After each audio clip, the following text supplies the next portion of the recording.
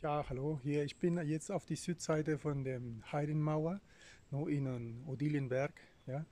Und ähm, ich zeige es euch hier mal, äh, Mauerreste. Seht ihr denn? Das alles hinter mir sind Mauerresten. Ja. Und diese Mauer ist, ähm, man kann sagen, das ist so klein, das kann jeder Mensch das machen. Aber ich werde mal einen Stein von der Mauer zeigen. Ja, einen Stein damit ihr seht, wie groß die Steine ist. Es sind kleine, keine kleinen Steine, es sind riesen Felsbrocken und äh, perfekte Quadern geschnitten. Ne?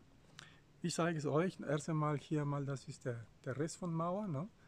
Ziemlich so wie Inka-mäßig ne? aus äh, Südperu. Ja? Und das sind, wie gesagt, da sind noch mehrere.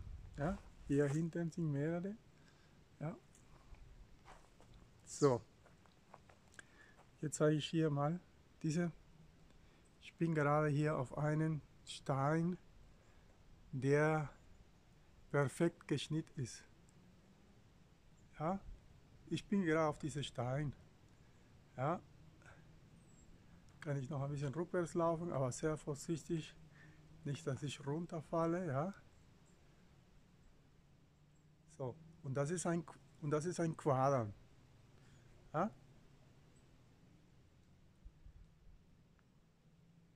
Das ist, wenn man hier sieht, auf die Seite, ja,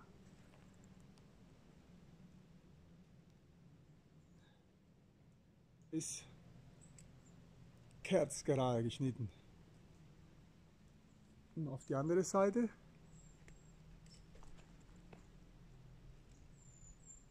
auch kerzgerade geschnitten. Ja?